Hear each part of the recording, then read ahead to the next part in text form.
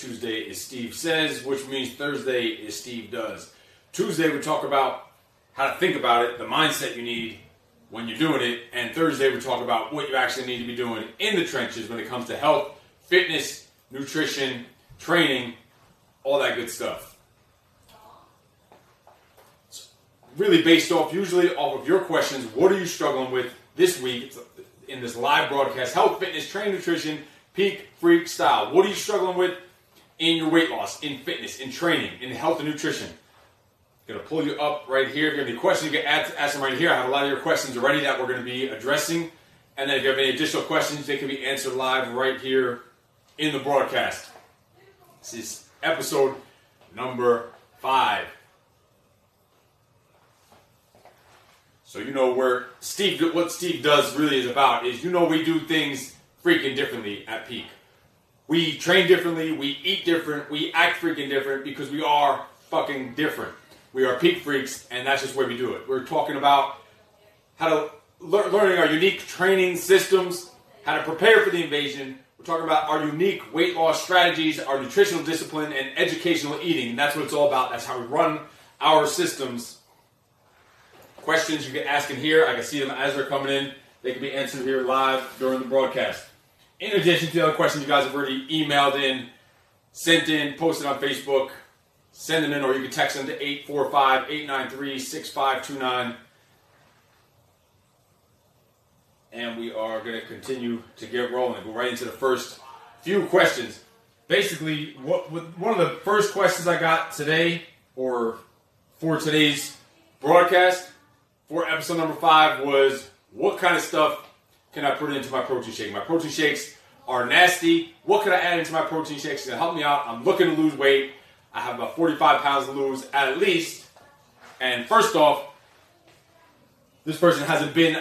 So there's always the usual questions at, that, that I would ask you is how much weight do you want to lose in the next six weeks? How much weight? What is your ultimate dream body goal weight? And when was the last time you were at your ultimate dream body goal weight? Important questions. And then why do you want to get that at that dream goal weight? And I know we're talking about protein shake, but that shit is important to understand what you should put in your protein shake. I know it sounds whacked and fucked up, but that's just the way it works. Peak freak style. We need to know that stuff to really let you know what you can put in your protein shake or probably what you cannot put in your protein shake. So the usual answers are, I'll, then I'll go on and ask you, so what do you put in your protein shake? If you guys, if you can put in the comments, tell me what you put in your protein shake let me know. What kind of stuff do you add to your protein shake? And the typical answer, as you already know, is probably bananas, strawberries, peanut butter, low fat milk or fat free milk, right? That's the usual stuff that goes into protein shakes in general. So your protein powder, when you get one of those canisters or whatever, whatever you get, those protein powders, that stuff is meant to be had by itself. It's meant to be served alone. You go wander to GNC and and and wherever the crap place you go to get your, your powders, and that stew's just trying to get rid of the shit that's on their shelves that they can't sell. He's telling you how this is the most awesome shit in the world, and it might be some decent stuff, but you really don't even know because who knows what, what, what shit they're trying to sell you. But you get what, what you think is low calorie, you know, it's something for weight loss or meal replacement or a protein shake, or you don't even know the difference between a meal replacement and a protein shake. There is a difference between the two, and but you you get something because it's low calorie, it's low carb, it's low sugar, it's low fat, the perfect blend for losing weight, right? So what do you do? Iced coffee. Nick adds in iced coffee. Yes, get your protein and get your freaking blood flowing at the same time. Go for it. So those protein powders are meant to be had 100% by themselves, at most with milk and not fat-free milk or low-fat milk. Only thing would be would be unsweetened almond milk or the cashew milk or whatever, 25, 30 calorie milk at most. If you need a little bit of milk, really every freaking protein powder is meant to be by itself. So you get that low fat, that low cal- calorie, low carb, low sugar thing, and you go add these things like fruits and the, the ones we mentioned. So I'm to give you some numbers real quick. A banana, a medium sized banana, 105 calories, 27 grams of carbs, 14 grams of freaking sugar. One medium sized banana. Blueberries, one cup, 85 calories, 21 grams of carbs, 15 grams of sugar. You get the point here. An apple, a medium-sized apple, like however the fuck that big that is, 95 calories, 25 carbs, 19 sugar, and it goes on and on. You, you get you get what I'm saying about the fruits and the numbers in fruits. So your protein powder, which is meant to be by itself, has maybe 110 or to 130 calories, right? It is meant to be alone. It's it is it's high protein. It's low carb. It's low sugar. It's low fat. It is meant for weight loss, and it is meant to be by itself. Then you go flavor it with this stuff like, and we didn't get to nuts. We'll get to that another time. We're talking about right fruits right now. You add with these fruits and nuts and peanut butter, and you end up flavoring it with two to two to three to even sometimes the things I've broken down for people four times the amount of calories, and it's loaded in carbs, loaded in sugar, loaded in fat. Think about it. The protein powder by itself is 120 calories. You're adding a medium-sized banana and, and, a, and a cup of blueberries, or a half a cup of blueberries. That's like 200 calories of just flavoring. Then you forget it. You're adding a scoop of natural, you know, but it's natural peanut butter, right? And the healthy fat. We know how that goes. You want to be a healthy fat person or a healthy skinny person. You choose. So you end up flavoring it with 300 calories when your shake is only 120 calories to start with. That shit ain't gonna help. That shit ain't gonna help you lose weight. On, and on the Peak Freak Educational Eating Program, we try for zero fruits, zero nuts, and zero many other things. We're gonna get to some more of them in a little bit, or at least very little moderation. It really depends on how accelerated you want your weight loss results to be. If you want rapid weight loss results, you're gonna go to, to freaking cold turkey right off the bat. You don't you don't need to, you don't need to think fruits are not healthy, but they're just not conducive to weight loss. Sure, they're healthy. Sure, there's plenty of benefits in the fruits, but the benefits are not the calories, the sugar, the carbs. That's going to slow down your weight loss progress and results. It also doesn't mean you can't have them forever. It just means probably no for now. Probably not not a good idea if you're looking to lose weight, you know, to, to have them right now. So now, if you're used to stuffing your face with even worse shit than fruits, like freaking fast food and burgers and bread and fucking pizza and cake and all that nasty shit like that, then sure, switching to fruits would be a huge improvement if, if you're basing it off of that. But on our Peak Freak monitored program, our educational eating program, we go for cold turkey. We cut it out completely.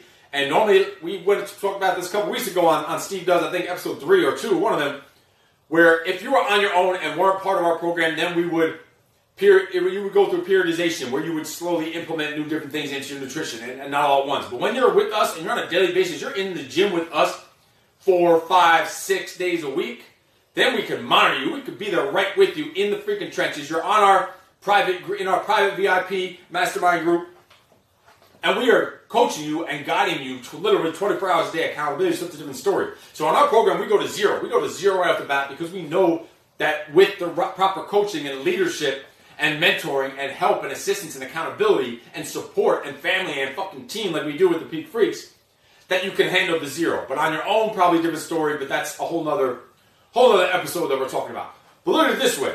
If you were eating all that shit, even if you weren't eating all that shit, if a banana is the worst thing you ate all week, no matter what, no matter what your goals are, that's a pretty good fucking week, right? So even as bad as bananas are, don't think we're not saying this all evil and this and that. We do try to go zero on that stuff. When someone's talking about they haven't been to their ultimate dream body goal weight of losing 45, 50 pounds in 9, 10, 12, 20 years, it's worth to go zero for a little while. Don't you think that's an even trade-off to get there in less than a year, which is what we can guarantee at peak, is get to that ultimate dream body goal in that amount of time. Reverse freaking time. Make you young again. That's what it's all about. Changing your freaking life, changing your mind, changing your body, changing your lifestyle. But you might be asking, what won't, won't I be missing out? Because there's always those people that have an answer for everything. They always have a reason why they need to do it. It's the healthy fat. I, I couldn't disrespect my my freaking aunt who made the cheesecake or all this all this other bullshit or why they need to eat this stuff. So you might be asking yourself, what I've been missing out on the healthy benefits of eating fruits. I know they're so healthy for you and they have all these other things. You don't even know the, you don't even know what they have. You just say that healthy benefits. What do the fruits even have? What do fruits even have? Do you even freaking know what the fruits have? So you ask yourself, you're gonna miss out on the benefits, right?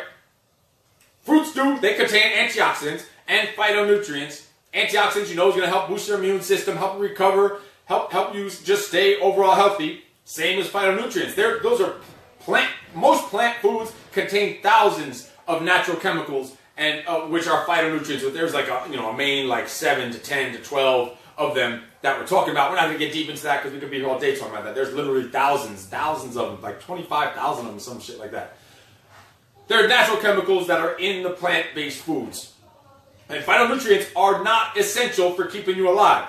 So make sure you, first of all, you know that. Phytonutrients are not essential for keeping you alive. So if you, you can survive even without them. Can you be optimal? Maybe, maybe not. But we want to cover all our bases and make sure and keep ourselves strong. We're training hard, so we want every bit of nutrition and advantage we can, right? So when we cut those fruits out to zero, we don't want to lose out on those antioxidants and phytonutrients, right? Like there's vitamins and minerals that plant foods contain and other other foods contain. Those are vital to your your survival. You literally need them to keep you alive, or you will freaking die if you're deficient in them. But these phytonutrients we're talking about, this stuff that's you know things that are in these plant-based foods, you do not need them to survive. But when you eat or drink them, they can help prevent diseases and help, help keep your body working properly, help you recover, help you with just a general overall energized state and alert, and tons of benefits of it. So they're not for survival, but to me, really, technically they are if you think about it. Because to me, we don't want to fucking survive. We are peak freaks. We want to thrive. We want to thrive. We want to excel. We want to be the fucking best that we could possibly be and get better every freaking day. So in a way, phytonutrients are essential for your survival. So we make up for that by eating pretty much as much vegetables as we want. And when we're talking about vegetables, we're talking about greens. Don't fucking just eat a bunch of corn on the cob that's soaked in a bunch of fat ass, lard ass butter and say, oh, you said I can have. Steve said, Steve does have corn. Steve doesn't have no fucking corn, okay? So you will get your antioxidants, your phytonutrients, and your fiber, a shitload of all three of those, from your vegetables, just, even just your greens. And you can mix in some of the colored shit like the carrots and the, and the tomatoes, but that's when your carbs start getting there a little bit. But when you talk about greens, right? Let's look at some greens. Have you, first of all, have you ever heard of someone getting fat off of too much broccoli? You can eat as much of the greens as you want. That is the best thing about our educational eating program that we have. You can eat as much as you want of everything we tell you you can eat. As much as you want. You don't have to measure your food. You don't have to count your fucking calories unless you're getting to like a fine point where you need to like narrow it down. You're looking for that chiseled six pack because you're already lean and, and, and, flat stomach and all that. Then it was still a different story. We start really fine pointing things, fine tuning things. But let's look at broccoli. One cup of broccoli has 31 calories, 6 grams of carbs, only 1.5 grams of sugar, and about the same amount of protein. So even sometimes more, some more protein, even two and up to two and a half grams of protein. So two and a half grams of protein and six grams of carbs, which only one and a half grams of sugar. So more protein than sugar, and almost half as much protein as carbs. So as much as that broccoli is going to be a carb source, and we do need some carb, we need fiber. You need some carbs in your nutrition. Don't forget that. We're not on some zero carb shit because we're talking about educational eating that you can last forever. I've eaten like this for over 20 something years. Look at me, I'm totally fucking normal, right? Wouldn't you want to be just like me? Spinach, one cup. One cup of spinach, you know many calories in fucking one cup of spinach? It's crazy. It's like under, it's single digits. It's like seven to nine calories. One, one gram of carbs, 1.1 gram of carbs and like 0.9 grams of protein. It's pretty much a gram of carbs and a gram of protein. They just wanted to be it's just a fraction, like a fucking millifraction more carbs than protein in spinach. So you get the idea on the greens. That's why you have as much greens as you want. You should eliminate the fruits as much uh, or completely as possible. And then, but to cover all your bases, what is this Steve does, so what do I do? I load up on my veggies. I cut my fruits, except once in a while when I, I know what I'm doing, I know how much I'm having, I can earn it, and I deserved it. And that's almost like a treat you know, it's a pretty sad fucking world when a, when a, when a cup of grapes is your fucking cheat meal. But you have goals. You want a certain way you want to look, a certain way you want to feel. You want to fucking live a long time. Sometimes that's the shit you got to do. So you decide. You decide what's more important to you. So I'll have fruits here and there, but really not too much. But I know I'm cutting. I'm not having fruits too often, and definitely not every day. And sometimes I'll go months without fruits. And you probably should, especially when you're talking about weight loss. But you need to cover your bases with some kind of greens or fruit supplement blend or powder or different pills that they have.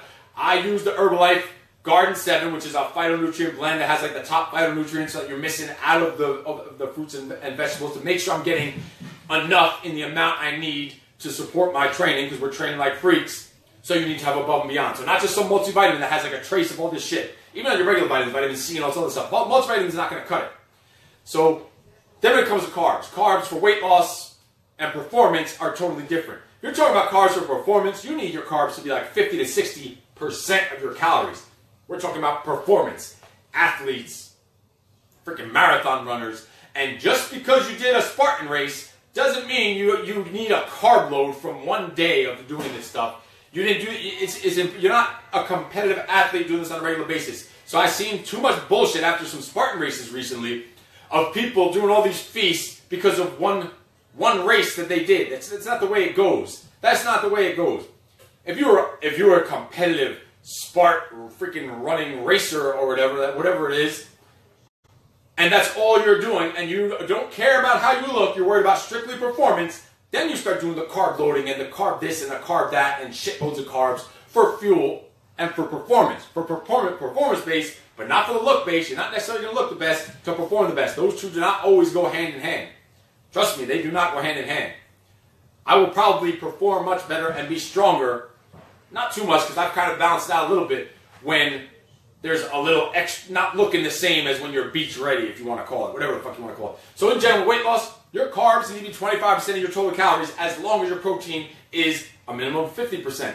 So 25% of your total calories. And remember, I'm talking about calories, not grams here. There is a huge freaking difference. Who knows the difference between calorie and gram? Who knows how to convert calorie or grams into calories? Because I said you need 25% needs to be from carbs and 25% of your total calories for the day, not your grams. You need to convert that shit. Let's see, what do we have here? Rachel Miller says, yes, research shows it's best to get your nutrients from real whole foods rather than pills and powders, right?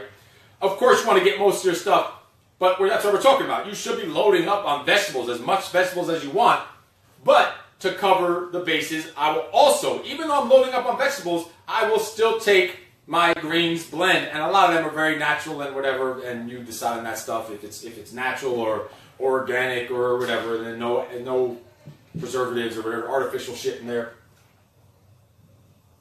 Of course, natural, actual whole food's always going to be better, but that's impossible, especially when you're eating healthy and you're eating, you know, you're not eating all those fruits because it's going to be loaded in sugar. So you need to kind of supplement it with something sometimes just to cover your bases. You're not going to get enough of something sometimes, like vitamin D also when you're talking about vitamins. But right now, specifically, we're talking about the fruits and what you're losing from them. Load up on your vegetables, which is probably going to make up for it, but just in case, I supplement with greens because I'm busting my ass, I'm training hard, I'm active, I'm on the move, I'm on the run every day, all day, making shit happen. So you need to make sure you're covering your bases and not becoming deficient in something.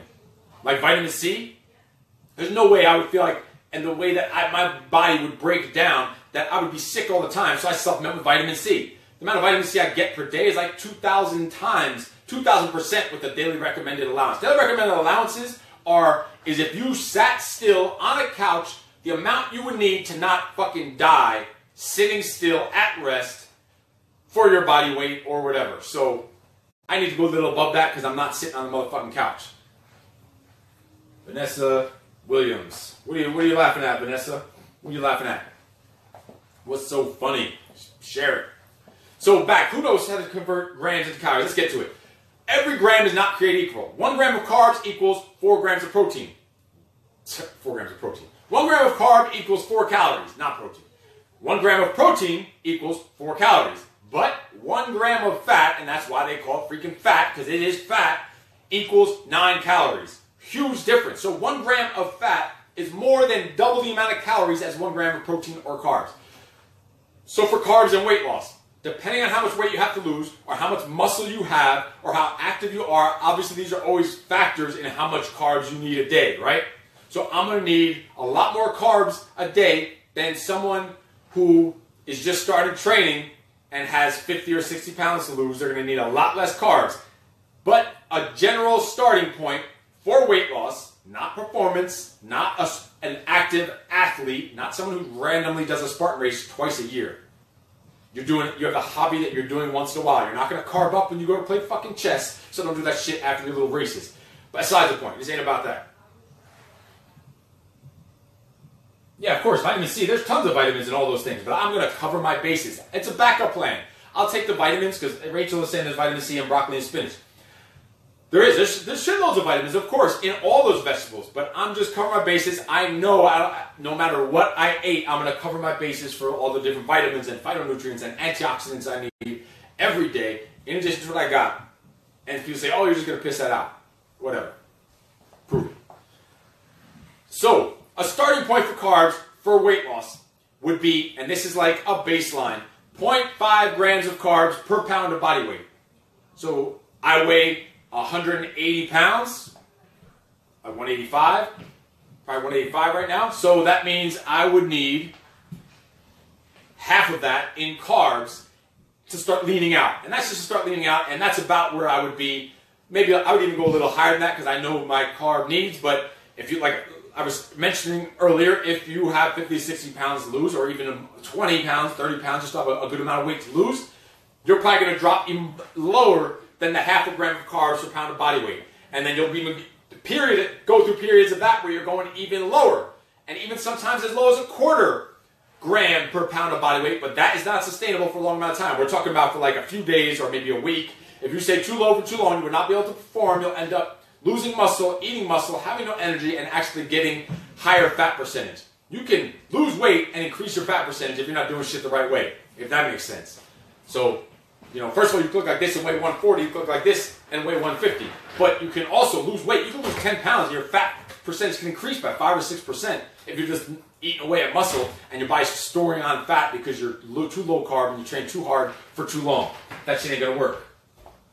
So, we're talking, and, and, and these carbs you're going to get, we're talking about getting your carbs from your greens, like, like we're just talking about. There's carbs in there that if you have as much you want, it's going to build up. You're going to get the amount of carbs you need. We're talking about Greek yogurt, pro, your protein shakes, oil meal replacements, and yes, there is a difference. We'll get to that another time. This isn't really what it's too much about.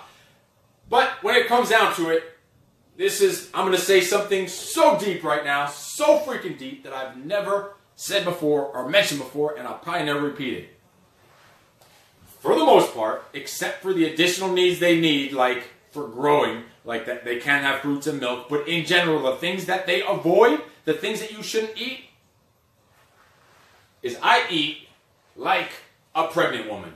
Yes, I eat like a pregnant woman. Doesn't mean I have cravings for fucking dipping pickles inside of rice pudding or some nasty shit like that. I'm talking about, all right, so women get pregnant. The first thing they do when they get pregnant. This is like blows my fucking mind. But I learned so much about this, about nutrition, from studying pregnant women when I was uh, training. I've had at least 50, 60 kids. Not mine. I mean, I've trained people, women, through 50, 60 pregnancies, at least. So, no, I don't have 50, 60 kids, motherfuckers. I know this is what you're about to say.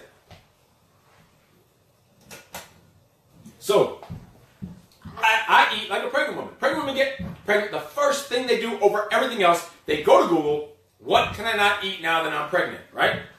So what do they come up with? They see raw meat or raw fish, uncooked seafood, or like rare and undercooked like beef and poultry stuff like that. It should be avoided because there's risk of contamination and different bacterias and all kinds of salmonella and all this other stuff, right? So they avoid it because of all that stuff. Because they're pregnant, they avoid that stuff.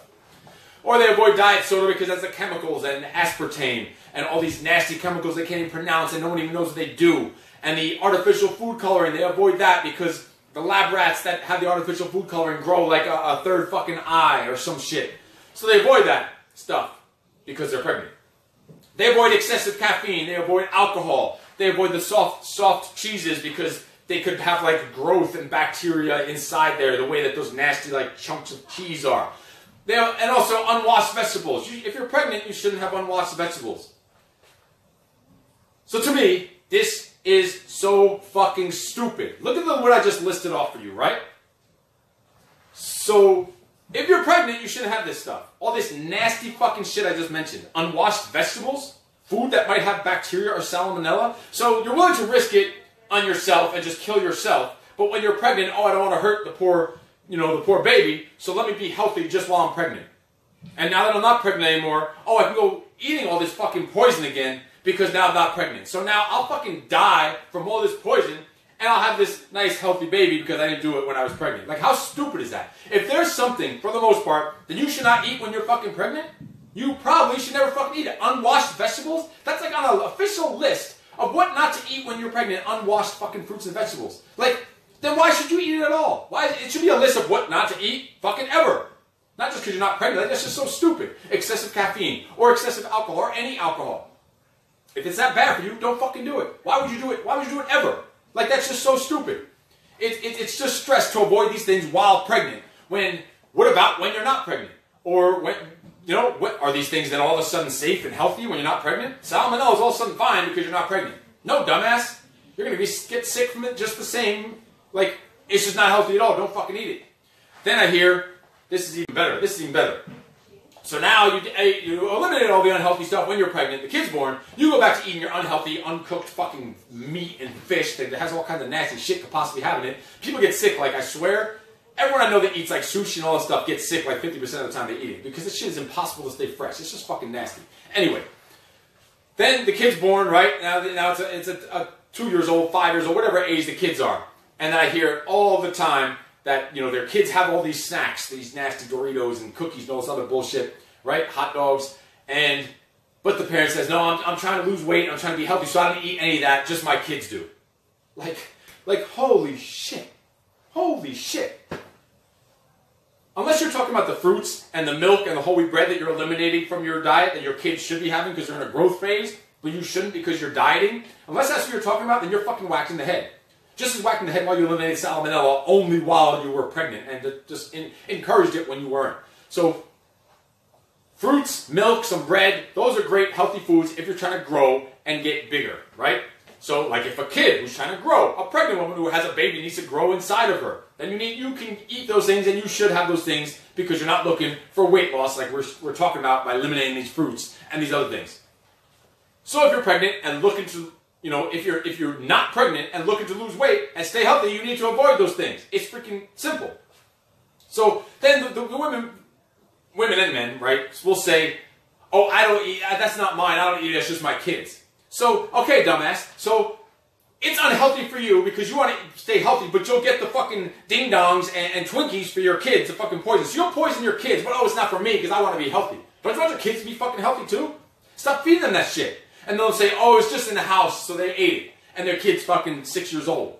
So I'm like, wow, you let your kid go to the store and, and, and you give your kid money to go to the grocery store by himself? He's only six years old to go buy the fucking Twinkies?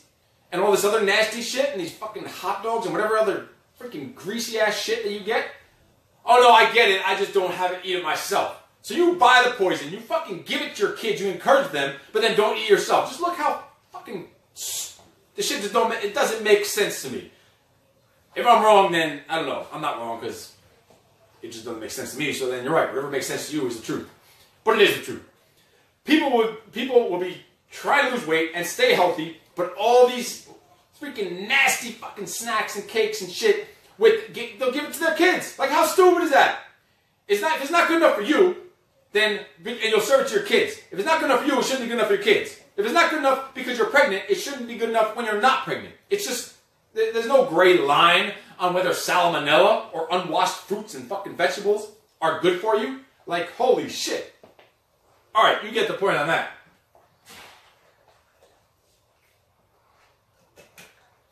So the next question, that just right before we came on here, just saw this question, didn't even finish reading it, put it in here, we're just gonna, we're just gonna go for it.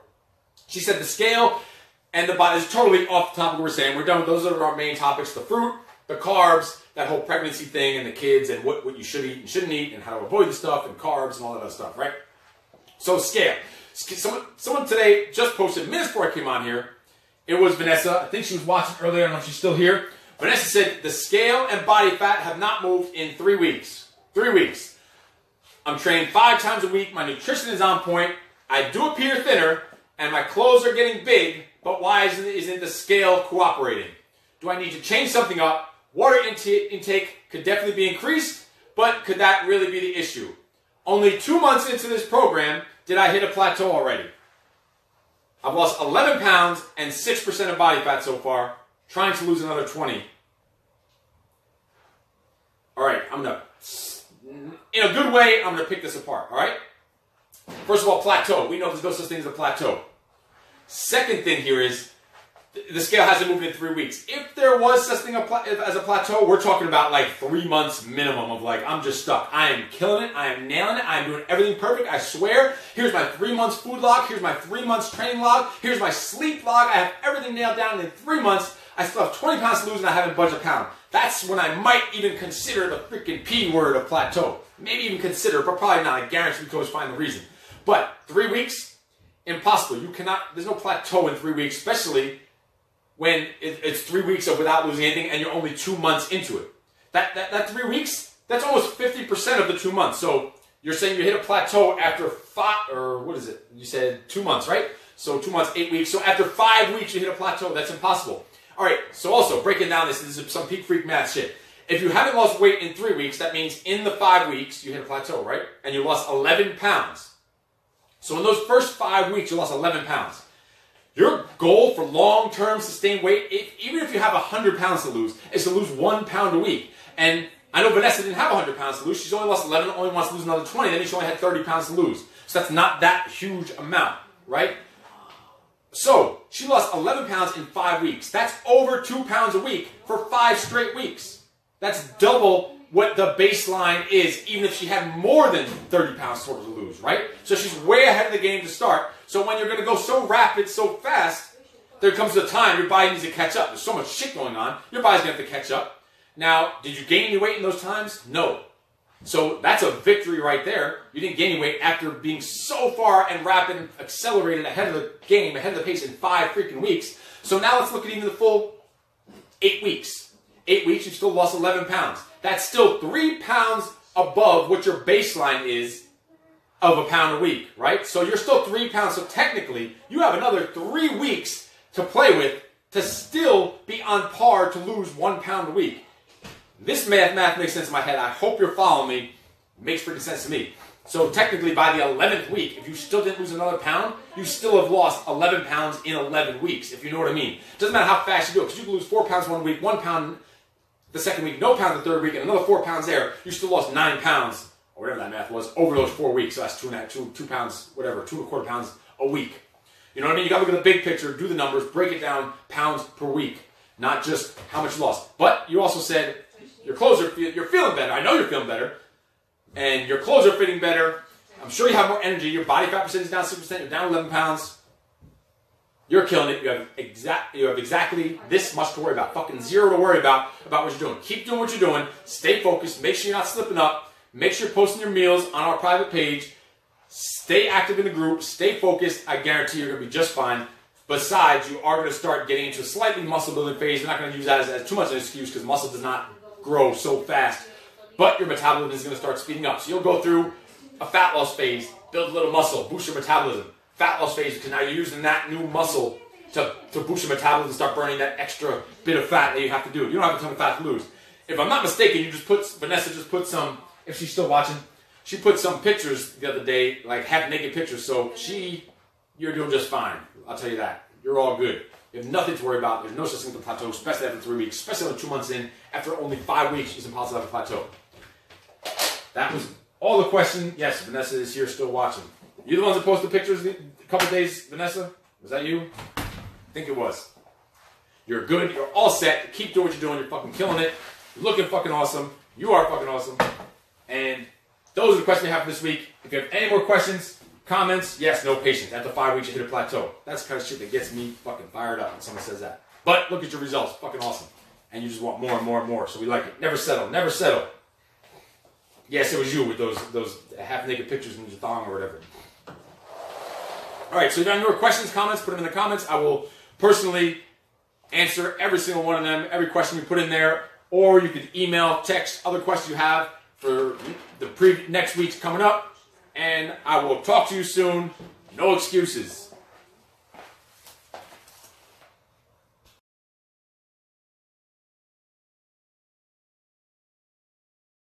If your life inspired you, get on your fucking feet. Get on your feet. You're all going to repeat after me. I want to hear it. No excuses! No excuses! No excuses! No excuses.